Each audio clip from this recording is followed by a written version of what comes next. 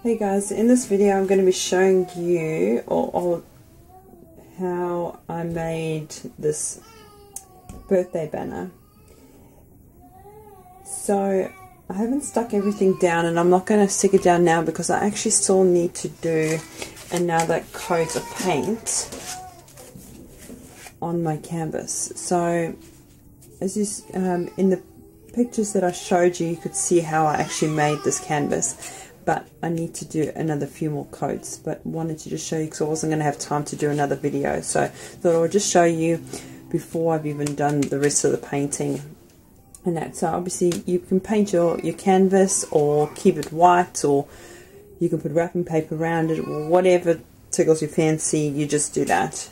Um, so with this video you'll get all these printables um, which you can attach to your canvas so this is what you call a, it's like a, a photo frame prop. So you take photos um, with people, so so people hold the thing like that, and they have their photos taken, and you obviously have your child's name, you can have the um, the age, just something different to add to your birthday party photos. So sorry, as I was saying, you can get these printables um, by clicking on the link in the description box below and you can print out all of these images.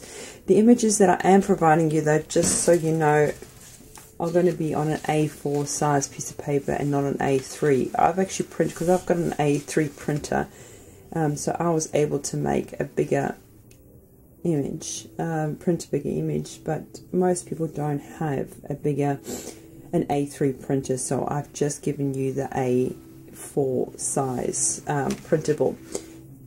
So could do the exact same thing. Um, yeah, it'll just be a little bit smaller, I suppose. So what I came up with was to take my happy birthday and I'm going to glue those with hot glue on top like so. I'm then going to take my Paw Patrol logo and stick that in the middle. And then going to have all their different um, little tags and pop them on either side.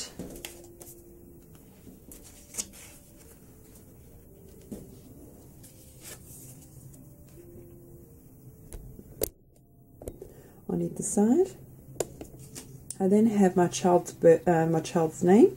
So this you can actually um, just do it in Word and um, fill it in in your color and print it out and then just cut it out if you want.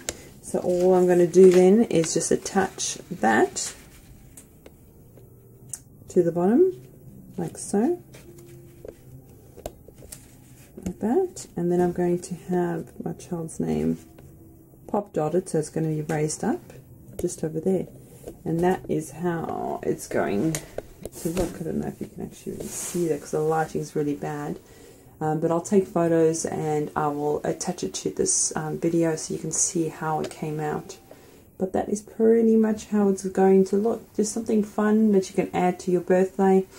And you can do any theme you want. Just print out a whole bunch of different um, clip arts from Google and attach it to your canvas. Alright guys, thanks for watching.